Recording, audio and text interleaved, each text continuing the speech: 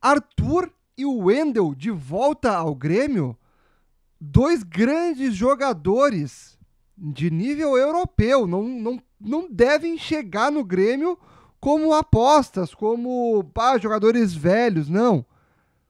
Mas será que vai acontecer? Vamos ver agora, neste vídeo, os detalhes de como estão essas negociações.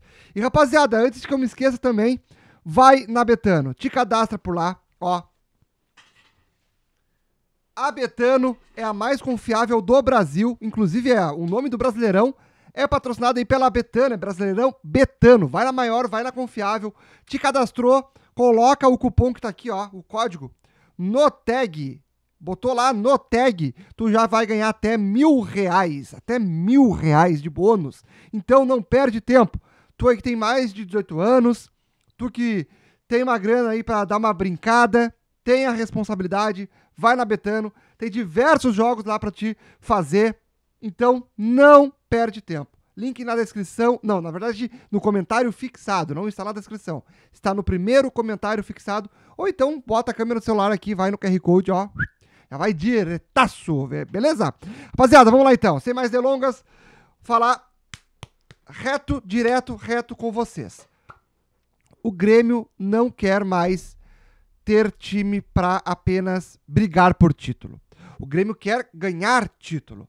O Grêmio está buscando ter nomes realmente que podem sair caro, pode sair uh, bastante dinheiro dos cofres, mas vai ter que investir pesado para 2025. Agora, de fato, um super Grêmio deve ser montado. E essa gestão do Guerra quer fazer isso porque é o último ano, será o último ano, 2025, da sua gestão, se não for reeleito. E querem fazer um ano impecável. Para isso, estão sim estudando nomes no mercado. E agora teve uma festa, né, da, do aniversário do Grêmio, onde o Brum falou sobre as possibilidades de, de Arthur e de Wendel. E ele falou, são caros, são jogadores que têm nível europeu ainda, tem mercado na Europa. E não é nem só pelo Grêmio, né? Também pelos jogadores. Se eles querem ficar por lá e tudo mais, o Grêmio vai fazer o, o seu melhor, vai tentar a maior possibilidade que, que, que esteja dentro da realidade do Grêmio. Mas que sim, é uma realidade. O Grêmio monitora, não descarta. Ele não descartou o nome de Wendel e o nome de Arthur. O de Arthur é um pouquinho mais difícil. De repente, por um empréstimo, quem sabe. Mas o do Wendel já fica um pouquinho mais viável. Ele tem contrato até metade, mais ou menos, do ano que vem, lá na Europa.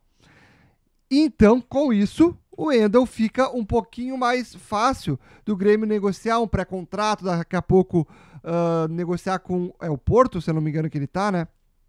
Para tentar uh, dar um valor para ele lá para o time, né? Para tirar ele antes de finalizar seu contrato lá com o Porto.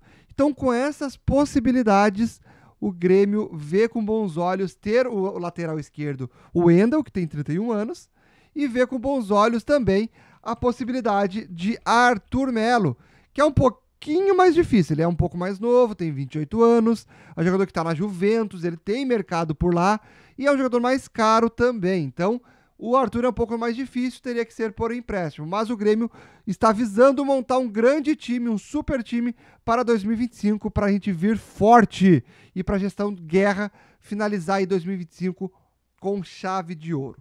Beleza, rapaziada? O que vocês acharam dessas informações? Não esqueça também, eu tô com um canal de FIFA agora, de AFC 25. E eu vou estar ao vivo agora na Twitch e também aqui no YouTube, no canal novo, que é o Noteg FC. Noteg FC. Eu vou deixar o link também aqui na descrição, vai ter um, um acho que vai estar aqui na tela. Então vai lá, se inscreve no canal, a gente está rumo a bater mil inscritos já lá. A gente começou esse final de semana. Vamos com tudo. Beleza? Um grande abraço para vocês, até o próximo vídeo, rapaziada. Valeu, falou, fui!